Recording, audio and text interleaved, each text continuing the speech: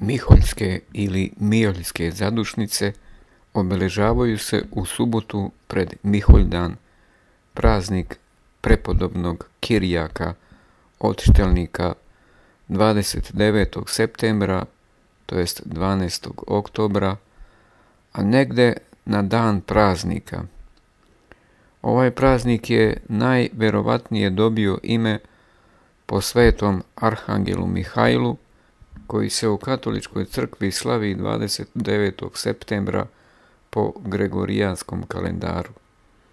Naziv dakle potiče od imena Mihalj ili Mihovil, kako se kod Mađara, odnosno Hrvata naziva Arhangel Mihajlo.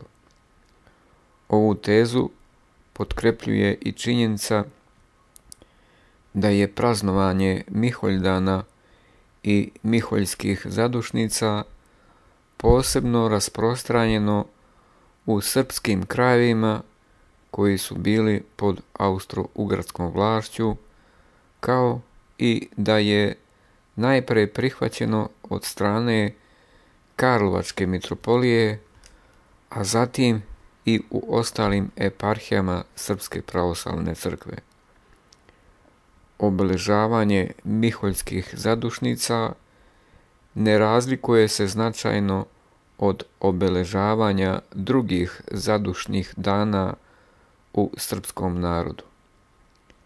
Zadušnice su vreme za molitveno sećanje na umrle.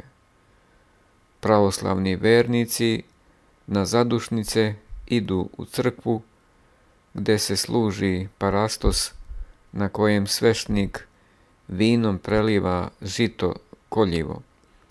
Posle službe se ide do grobova pokojnika. Tamo se pale sveće, a svešnik obavlja kratak obred kadi i preliva vinom grobove.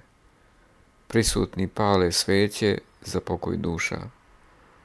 U slučaju da su srodnici sahranjeni daleko, i da nije moguće otići na groblje, pomen se služi u crkvi. Važno da svešnik prekadi grobove bližnjih, okadi tamjanom i prelije vinom. Hrana i piće se ne nose na groblje, osim crnog vina kojim se prelivaju grobovi.